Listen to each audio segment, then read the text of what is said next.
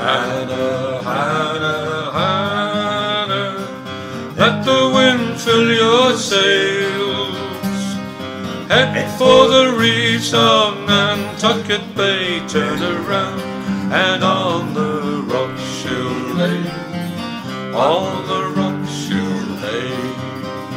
It was there in 1772, the day of nine in the month of June.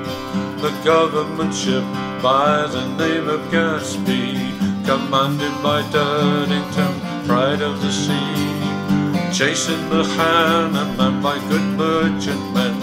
The captain was careless, and then the Hannah behove, and the Gaspee was caught on the reefs of Nantucket Bay. Hannah, wind fill your sails. Head for the reefs of Nantucket Bay, turn around, and on the rocks you lay, on the rocks you lay. John Brown stood up in the bow of the boat, the leader of that desperate crew. Shouted, Captain, won't you meet our demands? But the captain firmly refused. Joseph Bucklin rose with his musket high, shot Dudingston through the heart. They captured the crew, sent them bound for the shore, and the Gaspee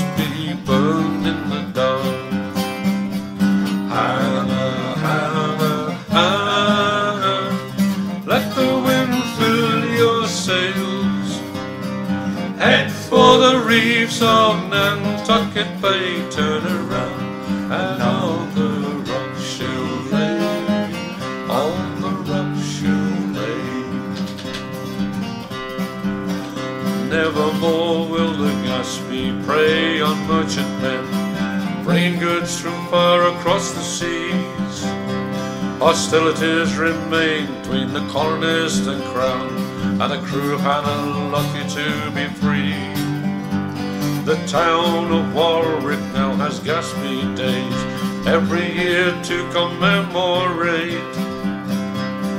Flags and bunting and marching bands, and a model Gaspee leading the parade. Hannah, Hannah,